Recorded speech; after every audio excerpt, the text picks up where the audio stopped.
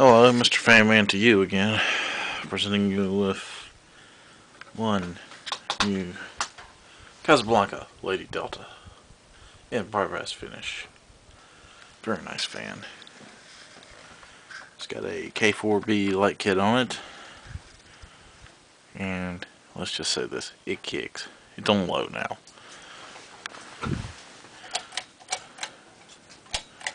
It's a little cold in here, but anyway, let me stop it real quick.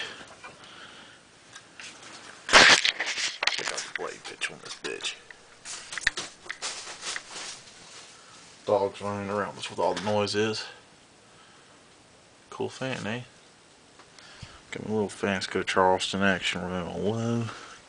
NAF, and some heat. Got two heaters going in here. Just try to make it a little bit warmer. Good old Emerson Premium and then Emerson something. And I have got to find something to do with all this stuff. Not a bit of it's trash. It's all fans. Fans everywhere.